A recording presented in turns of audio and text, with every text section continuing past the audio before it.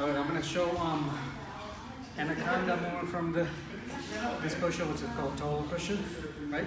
Yeah. Go to the anaconda, right? Let's try slowly. Right? So basically, he's tight. All right, you come around here, take a look at.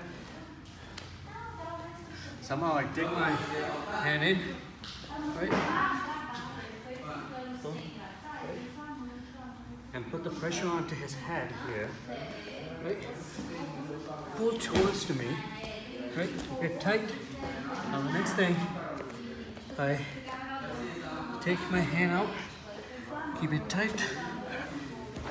Boom. Now this hand come over his this hand right here. And I drop my weight. Oh, go. Boom. All right, wait, one more time.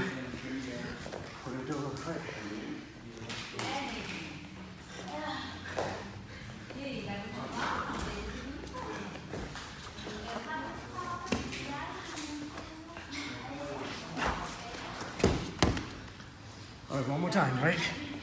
This is the last time.